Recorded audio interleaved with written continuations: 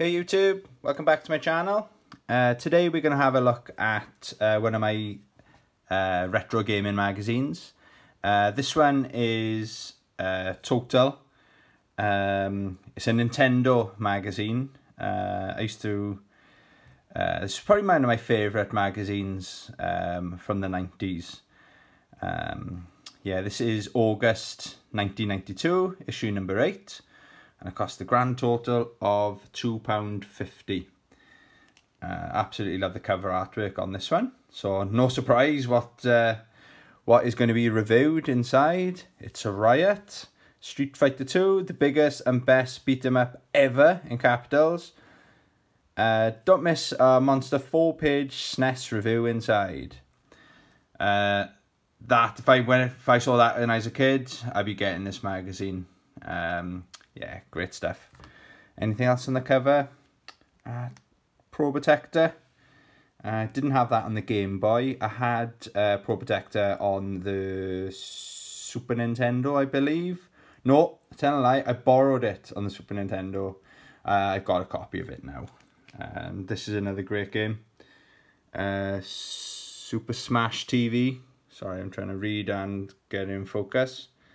Uh, spent many, many hours on that game, but we'll get to it. Okay, let's go.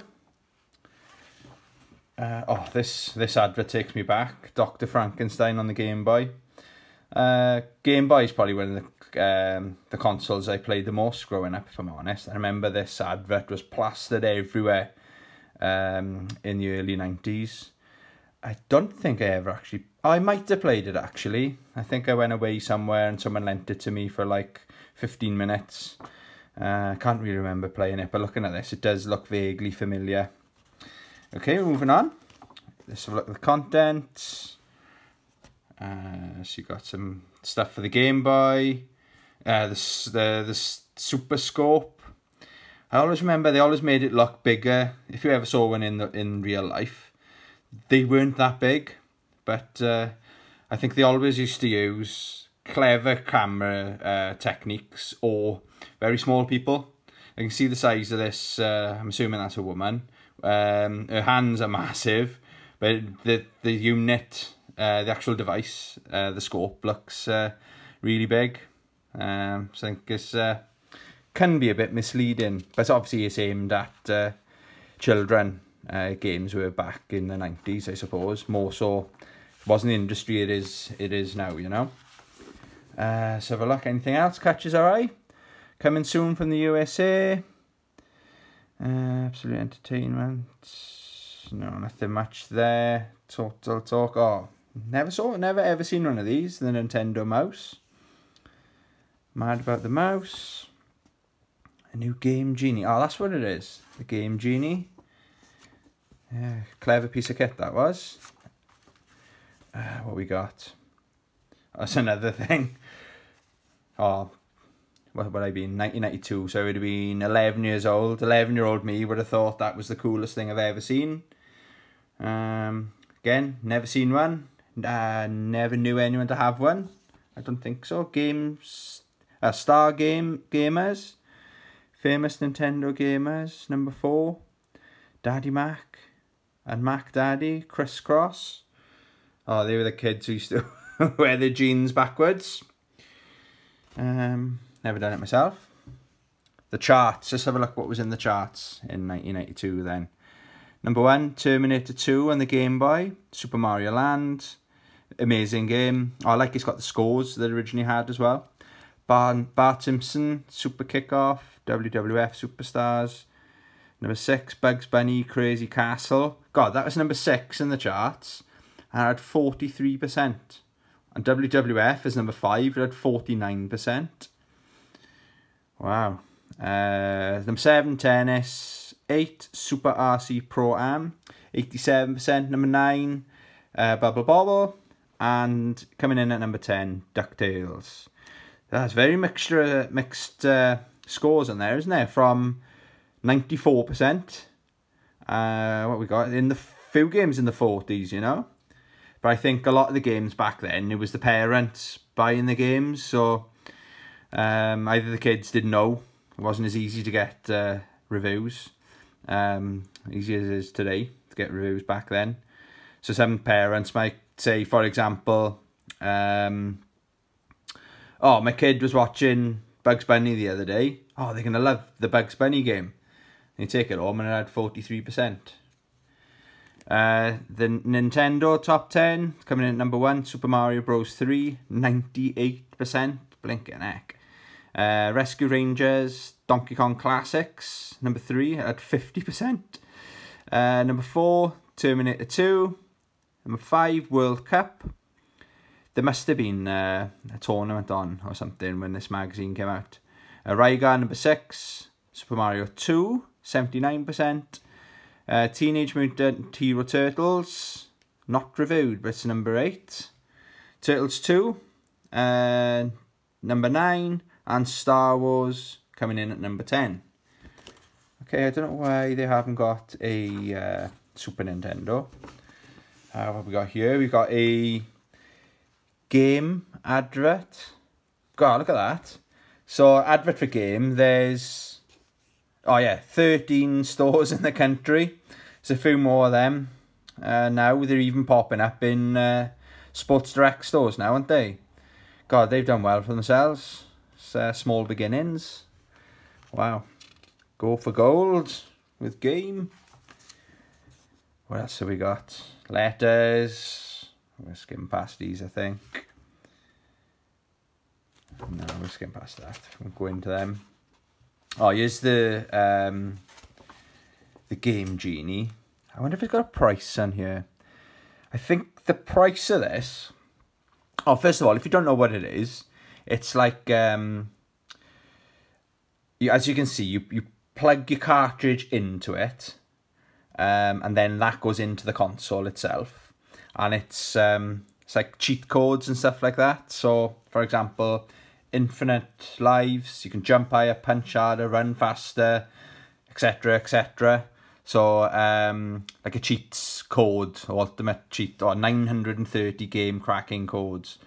Uh, but I never asked for one because I think they were around about the same price as a game.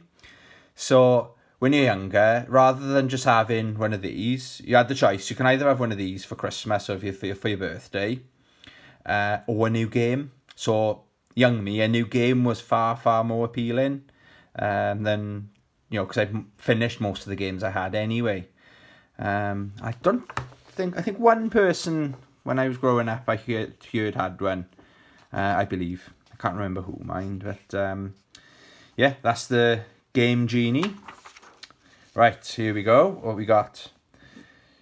There we go, Super Nintendo, Get Physical with Street Fighter 2. Anything else stand out there? Prince of Persia. Game that we don't... Funny enough, I was talking to my friend Chris about this the other day. He said um, you don't see the games anymore. They did really well on the, the PlayStation 3 uh, consoles and the Xbox. I think they were on the Xbox 360. I think I played it on the PS3. Very good. Very, very good games, you know. It's a shame. I don't know what happened to them. Oh, Probotector. Uh, what else have we got? Anything stand out? I don't think I had any. Oh, there's. Uh, we look forward to that one. Uh, page 44. Is this Super Smash TV? Oh, Godzilla. On the. Is that the Game Boy or Nintendo? Looks like it's the Game Boy. Oh, NES. Sorry, my bad. I can't read. Uh, Godzilla. Uh, yeah. I think that was a terrible game. I think. It looks good though. Uh, but we'll find out. What have we got here? Little Nemo, the Dream Master. Don't remember that. 77%. Oh, Bart Simpson in the 90s was absolutely mad. Oh, The Simpsons, rather, was absolutely massive. So there was uh, a load of games were dumped on the uh, Nintendo consoles. 67%. Uh, if it wasn't a Bart Simpson game, no doubt it'd probably have uh, even lower score. I think it sold really well, though. I know a few people had it. It wasn't for me. Oh, you don't see adverts, I guess, any day uh, anymore, do you? Turn your Super Nintendo into a super sexy, lean, mean street machine. Oh, Contra 3. Uh, super Ghouls and Ghosts stand out there. No, I'm not looking at the ladies. I'm looking at the games, if anyone's wondering. Now I'm looking at the ladies, I'm not going to lie. Right, let's move on. Uh, totally rad. 54%. I think some of the comments, these reviewers, really funny. Some of the comments. I, I think this, this magazine might have a funny one. I can't remember. I remember it was uh, something in here anyway. God, look at that. 22%. So imagine that. You get one game a year, as some of my mates uh, had. Imagine you ask for crack out. 22%. I'm sorry. Wow, wow, wow. High speed, 47%. Very specific, uh, oh, specific scores, aren't they? Makes me laugh. Lolo 2, okay, 65%. Let's have a look. What else we got? Right, I don't want to be too long. Oh, Godzilla. Godzilla. Monster of Monsters. Okay, so this is for the NES and it's £35 and it had 10% blinking it. It looks good though, if you ask me. If I picked that game up in, uh, even now, if I picked this game up, uh, obviously in the box, turned it over and had, and these are the screenshots on the back, I say that's pretty good graphics for the Nintendo. I would be very tempted. I pay £35 for that. But at 10%. Oh, here we go. Let's read this comment. Uh, from the screenshots, you might think this is a bit special. I agree with that. Whereas, in fact, these screenshots contain just as much action as the game itself. It's crap. oh, fair play. That was a good review. There we are. Uh, thrill, thrillers. Well, what can I say? Not a lot, actually. In fact, nothing at all. This game has got no good points whatsoever. okay. Oh, I bet loads of parents bought, uh, or loads of kids probably asked for uh, Godzilla. I grew up with the, I was a Sega kid back in the day. Um, but I would have been very, um, I would have convinced my brother, put it that way, because we had to agree what we were asking for for Christmas. Uh, unless I had it for my birthday, imagine my older brother, he would have said, you know, it obviously is a crap game, but uh, based on what that guy just said, um, yeah, my brother wouldn't be too pleased with me, uh, to say the least. Uh, just an advert for something, win, win, win. Oh, here we go. So, I don't, it says here, grey import. So I'm assuming they're reviewing the Japanese, um, Japanese version. So for the SNES from Capcom, price around £75. Gee whiz. No wonder hardly anyone had it when I was younger. I was telling a friend in work, uh, Mr. Bond, he's a subscriber. Don't you worry about me. I was telling him, funny enough, today that um, this guy I grew up with, uh, he had a lot of games. Um, he wasn't the most fun person to hang around with, I'm not going to lie. But I was, this is primary school now. And um, he said, oh, do you want to come over my house tomorrow to play? I said, no, thank you. He'd always ask me. And then one day he said, do you want to come over my house to play? So I said again, no, thank you. And he said, um, I've got Street Fighter. And I was like, oh, pardon? He said, yeah, I got Street Fighter. I said, really? Yeah, I got Street Fighter. So I thought, oh, great really excited. Asked my mother, and eh, can I go over this person's house to, tomorrow? Yeah, no, no worries, no worries. So excited all day then talking about Street Fighter, and I was like, oh, the green guy, Blanka, and he was saying like he looked a bit confused. And I thought, um, I don't know, maybe he hadn't played it much or something like that. So go to his house, goes, yeah, let's play some Street Fighter. It was fucking Pit Fighter. Uh, honestly, I think I was sick in my mouth. I was absolutely gutted. And it was too far for me to just walk home. So I had to stay with this kid, right? And play fucking pit fighter. Um, oh my god. Yeah, bless him. I don't think he was he wasn't lying. I think he got confused or something. Maybe he didn't realise. He must have heard me and my friends talking about Street Fighter and how amazing it looks. And he goes, Oh yeah, I've got pit fighter, thinking it was Street um, Street Fighter. But yeah, that just made me laugh. Uh, in work today. Memories. I, got, I can remember some things crystal clear, but normally my memories like a sieve, I tell you. Anyway, let's get back to uh, Street Fighter 2, shall we? The real deal. So, oh yeah, they said it was a four-page review, didn't they? I was looking for the score. I guarantee this did well. Uh, so look, so got a rundown of some of the characters, with four of them. Oh, they got all the characters. M. Bison, Balrog. Yeah, look at this. Tell this is early days, because they got M. Bison, um, and they're calling him Vega. And then obviously, Balrog is um, M. Bison, for those of you who didn't know, the the names that they are now, they weren't always the same names. I think in tournaments they call um because in Japan they stuck with these names, so is Vega in Japan. But in tournaments, I believe they call him um, the Dictator. I remember watching a couple of tournaments, and the, the commentators just kept referring to the to him as the Dictator, and I was like, "What are they on about?" But um, I might be wrong, but that's my belief is why they call him uh, the Dictator. Anyway, oh, 94%. Let's have a look. It's getting a bit dark, I do apologise. I haven't paid my electric bill. you joking, it's, uh, it's alright. Gameplay, lifespan, with difficulty levels, yeah, well, well, I'm still playing it to this day. So, uh, I give that a 10 out of 10 for lifespan myself. Oh, another Simpsons game, Krusty's. I'll skim through these a bit quicker. Uh, 80%. Uh, never played it. Pro Action Replay. Oh, I've got this. Bought this on eBay about six months ago. Uh, action Replay copy of Street Fighter 2. Happy days.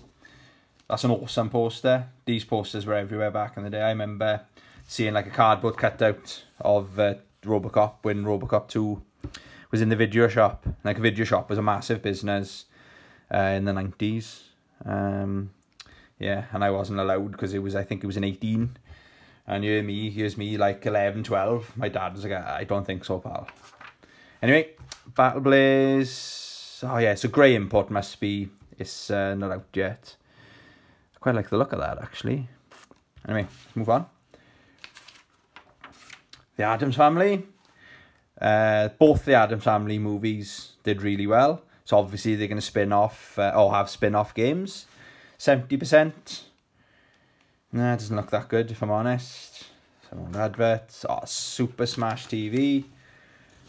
I don't know why they don't make more games like this. Um, I think the PlayStation 4 and 5 controller pad would be perfect. You know, like, um, this was great on the Super Nintendo. You know, with the one uh, directional uh, stick. So like a twin stick shooter like this. Yeah, so I had 93%. Uh, yeah, I, I hours and hours into that game. Very hard game, mind. But it was just so much fun, you know. Oh, the Super Scope 6. Was that going to focus?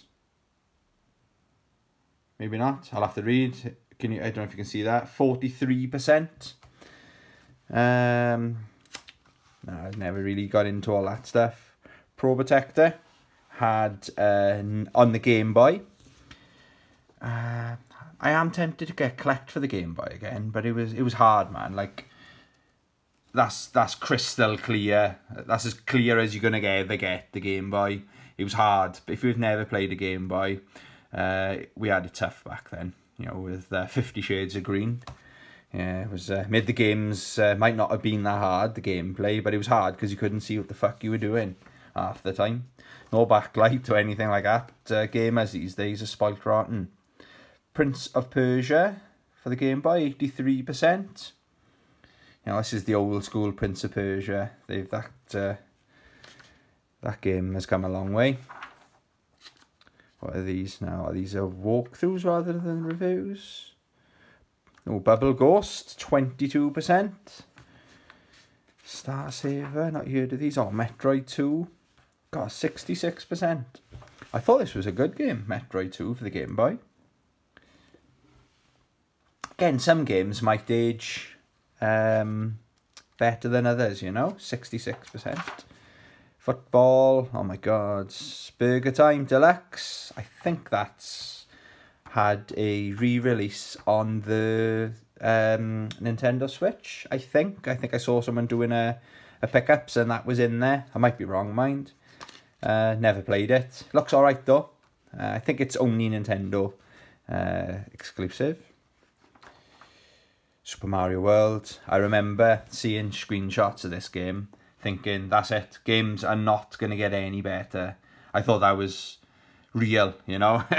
you know, nine, ten year old uh, little Tony in the uh, in the magazine shop back in the day, or the news agents back in the day. I thought, uh, I think the graphics have aged very well anyway. But back then, it just blew my mind. Didn't even have a Super Nintendo. And I was drooling over the, the screenshots, you know. Star Wars, oh, it's like tactics part of it. We'll just uh, quickly breeze through this. Action replay codes, are, so you can put these codes in and get um, infinite lives, full power ups, and things like that on some of the games. Uh, total recall. And now we'll uh, readers. Okay. Some adverts. There's always a lot of adverts. Um, just getting through, nearly done, guys. Oh, subscriptions. Right. This magazine here, issue three. I I wouldn't say I can remember it like yesterday. That'd be a bit of an exaggeration, but that I remember my uh, I remember picking that up. It was my father. I think how much is this magazine? Two pound fifty. That was the first Nintendo magazine I bought because I had a Sega. Um, there was something about that magazine I just loved. I'd watched Terminator One.